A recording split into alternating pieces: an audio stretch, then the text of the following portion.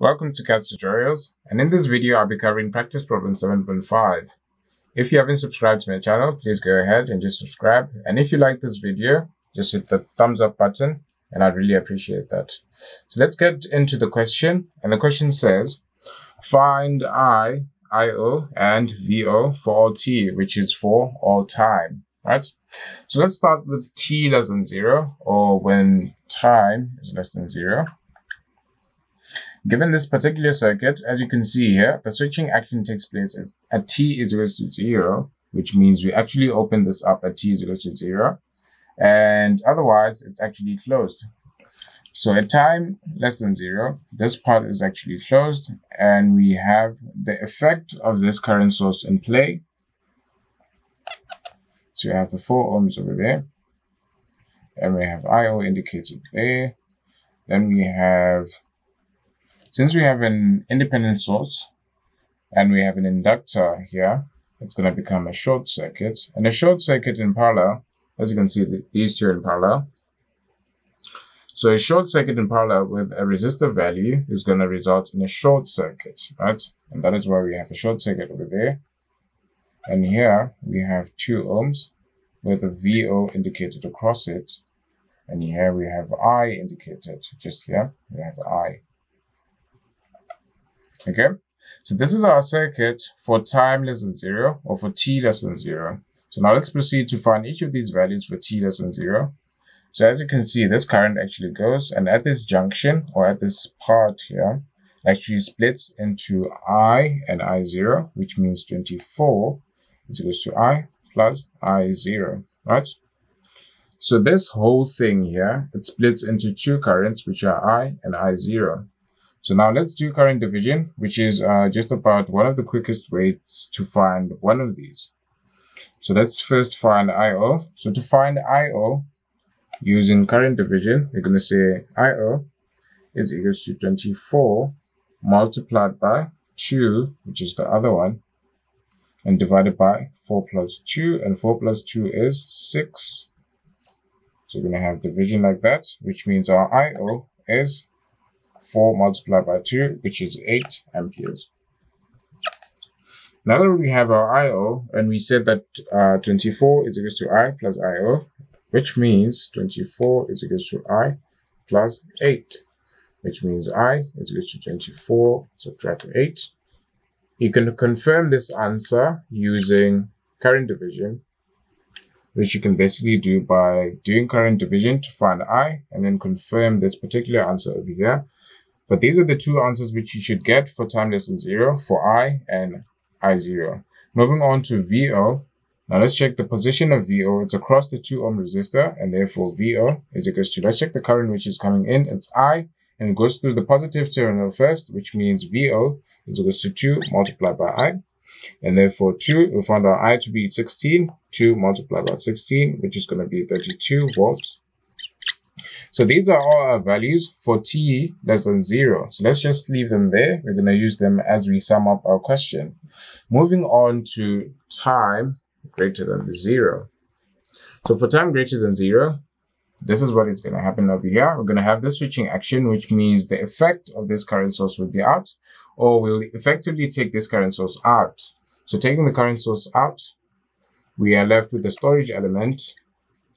Its value or the value associated with it does not change abruptly. And the particular value which you're talking about is current for an inductor. So this inductor current which we found for time less than zero is the same which we're going to find just after zero because the current of an inductor doesn't change abruptly or instantaneously. So our I, which we found just before zero, is equal to the I, which we're going to find just after zero and this is going to help us. And the value of that is 16 amperes. So now interested in finding these values for time greater than zero. So from zero to infinity or something like that. So now what do we have? We have this from this formula over here. We know for sure that this hasn't changed because it cannot change abruptly as i said. So now when this current gets to this point it splits into that and something that goes in that direction. Now this current which goes in this direction, as you can see, it opposes the direction of IO. IO actually goes like that. So this is IO, and whatever this is, is in the opposite direction. So when we do our current division to find the current which actually goes through here, we're going to say this I, which is the total which splits at this point. We're going to say I multiplied by, by 3, which is that one, which is the other one, because these two are the sum of this, which is 6, is essentially in parallel with the top part. So when doing a current division, we're going to say I, which is the total current, which is being split between the two sides. So I multiplied by 3 divided by 3 plus 6, and this 6 is a combination of 4 and 2. They're in series and therefore share the same current. So I multiplied by 3 divided by 3 plus 6, which is 9. So you're going to have 3 at the bottom. You're going to have, cancel that, you're going to have 3 at the bottom. You're going to have 1 at the top. And therefore, this current, let's call it I1. This current which goes from this junction towards the 2 and the 4, which is the opposite, which is the negative of IO. So I1 is equal to negative IO, right? Because they have opposite directions which is equals to this value over here. So which is I divided by 3, right? So this is basically what we have. This is the relationship which we have, and we're going to use it shortly. So now we know for sure that I of t is equals to the initial current multiplied by e to the negative t divided by the time constant. So we first have to find the initial condition. So we found the initial condition. We know that from the first part of the question where we found t less uh, i at t less than 0. So we know this part. We know t is just a variable, and we have to find the time constant. And this is how we go about doing that. So first I have to find RTH with respect to this storage element. So finding RTH with respect to that, we're going to have a circuit like this. Going to have 3 at the top. Going to have 6 at the bottom, which is the combination of 4 and 2. So this is going to be 6 over there. So these two are in parallel, and therefore we have 3 in parallel with 6 as our RTH. And the value of this is going to be 3 multiplied by 6 divided by 3 plus 6, which is 9. Divide that. Then we're going to have 2. And therefore our RTH with respect to the storage element is 2 ohms, right? Now that we have our 2 ohms, this is going to help us to find our time constant. So the time constant, when we have an inductor resistor an R an LR, that's what it's called, an RL circuit, we're going to have L divided by R. And the value of the inductor in this question is given to us as just 1 Henry. So we're going to substitute L as 1. We're going to substitute R as the RTH, which we just found, which is 2. And therefore, our time constant is 0.5 seconds. Substituting all of this or substituting all of this information into this formula is going to give us a formula for I of t or of i for time greater than zero. So this is what we're going to have. Let's substitute everything which we found. So I of t is equals to I0, which is that 16 e to the minus t divided by 0 0.5, which is our time constant, which we just found, and not forgetting the units, which is amperes. So now just simplifying this by saying 1 divided by 0 0.5, it should be 2. And therefore, I of t is equals to 16e to the minus 2t amperes. So that is one of the values for time greater than 0. Let's move on to find the other values. So now that we have a formula for that, we can take that off. We have that. But we established that I1, which is the negative of IO, is I divided by 3. And therefore we can say IO is equal to negative I divided by 3.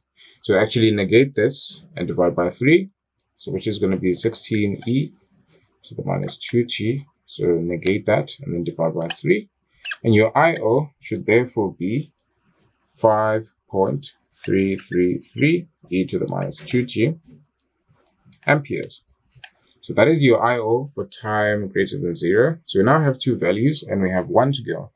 So VO is equals to, if you look at IO over here, it encounters the negative of VO first, and therefore the relationship between the two is going to be negative VO is equals to 2 multiplied by IO, and we found our IO just now. So VO is equal to negative 2 multiplied by IO, which is going to give us a, a value of, so you're basically just going to multiply negative 2 by the formula of your IO, which you just found. And the answer should be VO for time greater than 0 is equal to 10.667 e to the minus 2t volts. So now we have all these values and you can do a quick summary of what we just found. So this is the summary. So we're going to say I, let's start with I. So I is actually 16 amperes for, and that is for time less than zero. And for time greater than zero, it is 16 e to the minus 2 amperes for time greater than zero. Then we have IO, it was a time less than zero. The value of IO was 8 amperes for time less than zero.